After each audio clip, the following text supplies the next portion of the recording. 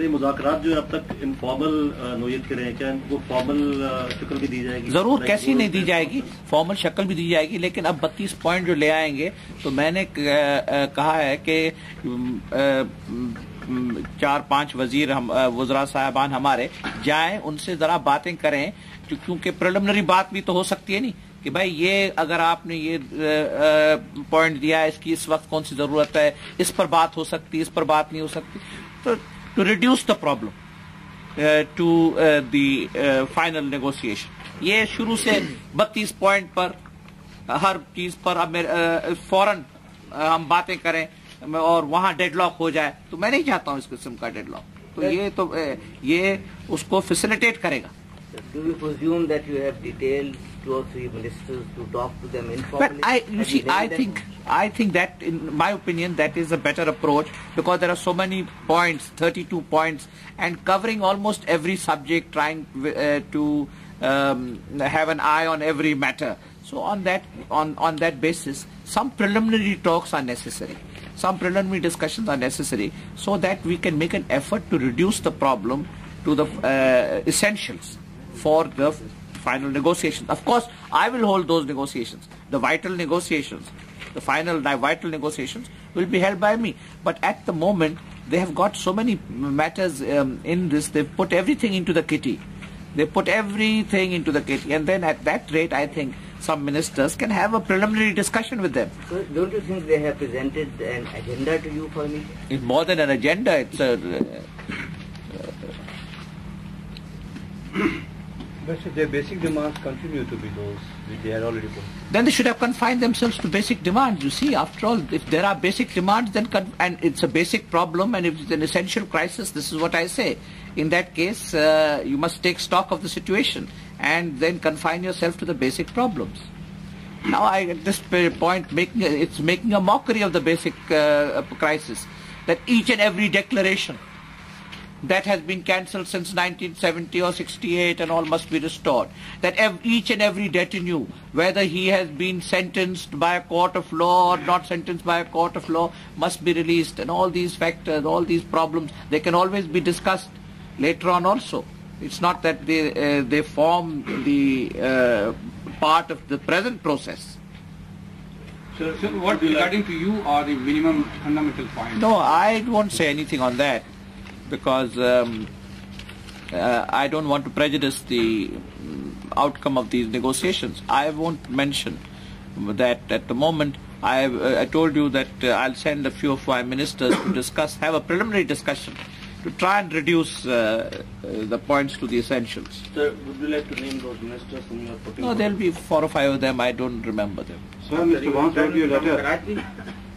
After you return from Karachi. Yeah, after return, they will. Uh, um, I want to talk to them once more. Uh, that will be on. I'm returning uh, to Pindi on the 9th. So, and the meeting of the par- parliamentary party. Naturally, I have to take my parliamentary party into confidence also because all sorts of rumors are floating in uh, all over the place, and uh, inspired stories are coming out. So I have to also. I have a parliamentary party. I have to not take. Uh, I have to take. Uh, they've read the 32 points. It's not. A, it's not a secret document. I, it's my duty to also discuss in some broad terms these 32 points with the parliamentary party as well. So I've called a meeting of the parliamentary party, uh, 10th. But the ministers then will go on the 10th to see them in Sihala. Sir, Mr. Mr. Vance wrote you a letter and he said you will reply to him. I have sent my reply to Mr. Vance. Is there any chance of your meeting with him or he coming here? I've Any replied. meeting between the two sides? I have replied to Mr. Vance. in that. Do you foresee any uh, embargo uh, by the USA, Pakistan? Uh, Well, that depends on the, um, the developing situation. But um, we had an embargo for 11 years, uh, more than 11 years, from 1965 to 1973. You count the years. You have we had an embargo. We uh, uh, continue to live. We continue to survive. We continue to uh, manage our affairs. We are no longer uh, def- uh, deficit in wheat. By the grace of God, now we are self-sufficient or virtually self-sufficient. If not, I would say depends on this year's crop. Self-sufficient in wheat. Next year we might be in a position to be surplus in wheat. So on the agricultural side, we are all right. We have su- sufficient cotton, sufficient cloth in the country for people to have food and clothing.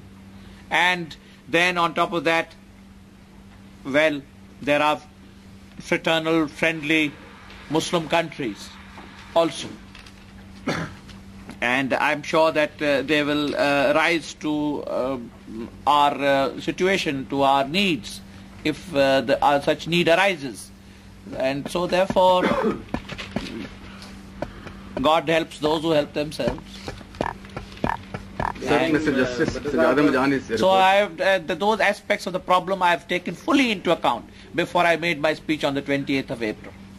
Please do not think that I did not take into account the economic, the military, the other international aspects into account. I uh, considered very carefully. I took a long time before I made my uh, speech on the 28th. On the 18th of um, uh, April, I met for the final time, the third time, the American ambassador, and gave him and told him that uh, about the interference and intervention in the internal affairs. I gave specific instances.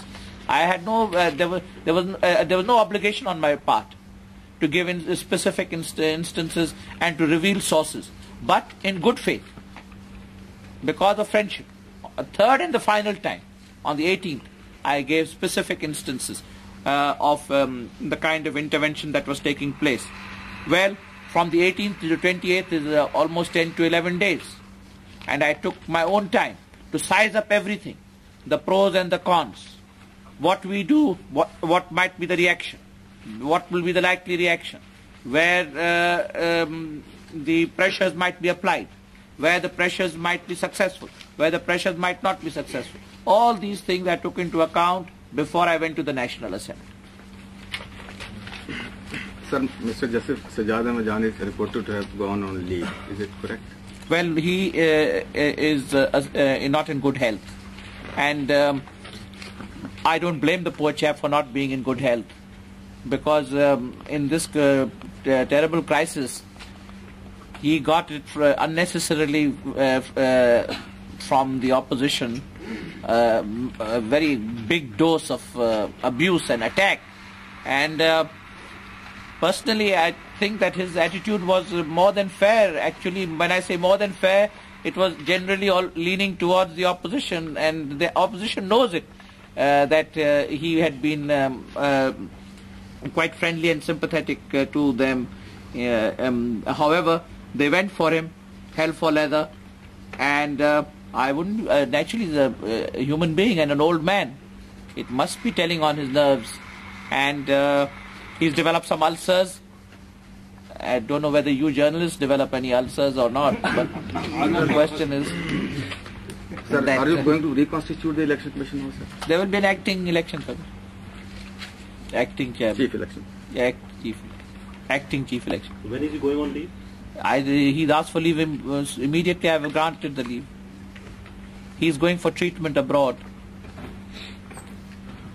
So the cru- crucial question being asked in every village and city is, how long will the nation have to wait for the settlement of the That does not lie in my hands. You see, I gave my proposals uh, as early as the 12th of March. Now the point is that they were rejected and rejected and rejected. And in my last press conference, which I held in Lahore, what was the date on which I held? 17th? 17th. Well, uh, and I left on the 18th, no? On the 18th, uh, uh, the moment I was leaving, you showed me that they had rejected that uh, proposal. So up to the 18th of March, the, the delay is caused by the PNA for rejecting each and every proposal.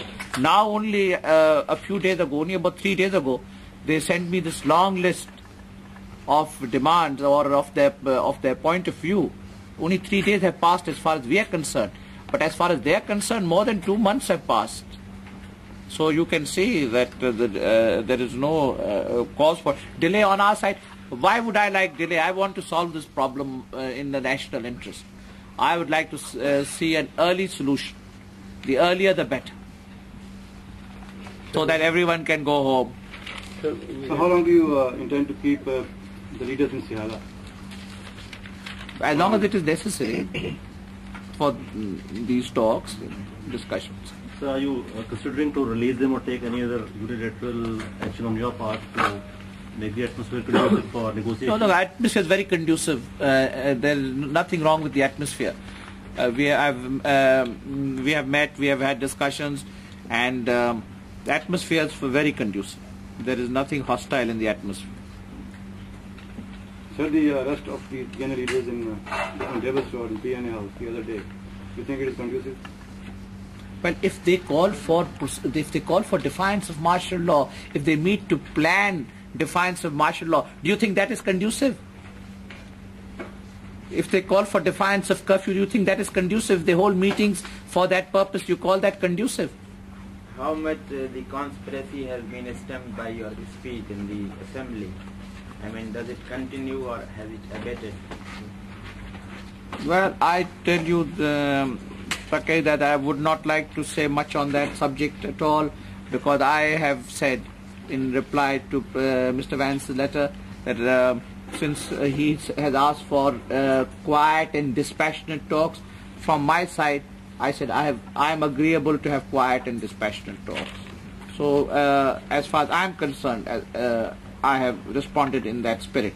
So I would not like to comment more on it. Their whole media is. Uh, That's not me. You cannot you cannot arrest the dynamics of political momentums. That's a different matter. It's not like switching on and off a light. Then those uh, forces, the dynamics of political forces, they get released. Those you can't immediately control and contain. That's a different matter. That should be understandable, and uh, it should be more understandable in free and open societies and democracies than in our suffocating uh, dictatorship. Uh, sir, uh, is the Delhi government seriously considering to put uh, retired Marshal Asghar Khan on trial? Uh, Well, nobody is above the law, and if anyone incites the armed forces to rebellion, again, it's it's, a, un, it's subverting the constitution. That may cause some increase in tension which is already That should have been taken into account when uh, people give statements subverting the constitution.